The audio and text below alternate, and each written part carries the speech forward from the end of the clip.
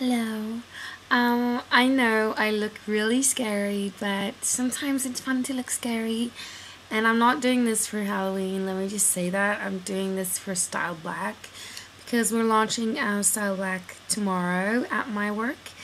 Having a huge event um, for 14 days, and I just want to do some different makeup. And I know like almost everybody's going to be using the black to make smoky eyes with and I just wanted to do something like if I think of black lips and black makeup and stuff and I just don't really think about it too much but just really think about it it reminds me of Kiss. So I wanted to do like a modern take on a Kiss mask like my own version of it.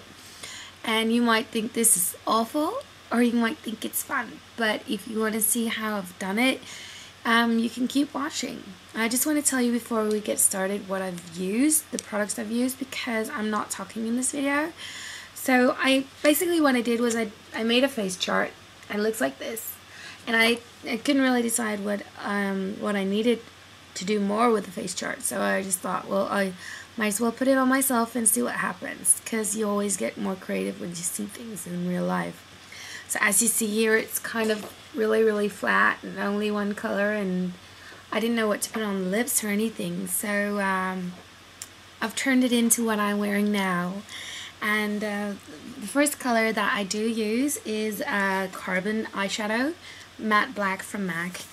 And then to um, kind of shade it with a little bit, I'm using this one right here, which is, actually I don't know, Omega, I believe and then vanilla. Um, I'm using that in the end. Then I'm also using an um, eyegloss and I'm using Dazzle Lash, Dazzle Lash Mascara, a Dazzle Glass in Internationalist, and a Smolder Eye Kohl. And then I'm using these four brushes. Actually, none of them are from MAC, which is quite funny. Uh, this one is from Gosh. This one is from Kryolan. It's a number 6 brush. And these two are from a Danish brand called Nilens Jord. The, the earth of, from the Nile. Something like that. Yeah. so that's what I'm using. And um, if you want to see how to make a scary, different kind of kiss mask, then keep watching.